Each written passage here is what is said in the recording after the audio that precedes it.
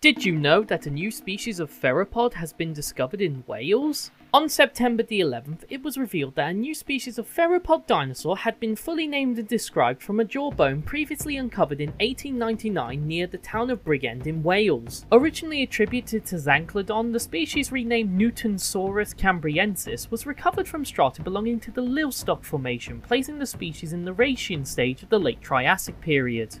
Using 3D digital reconstruction, Owain Evans and his team were able to discover several autapomorphies that exhibited great similarities to other European coelophysoids, such as Liliensternus and Dracoraptor, rather than other large predatory archosaurs. These included a unique lateral expansion at the dentary's anterior end, transversely compressed and strongly recurved teeth, and a single foramen at the rostral end of the Meckelian groove. As a result, the team's findings overturned the original classification and established the specimen as a unique species of Coelophysoid theropod. However, due to the limited known remains, the classification is still considered to be uncertain.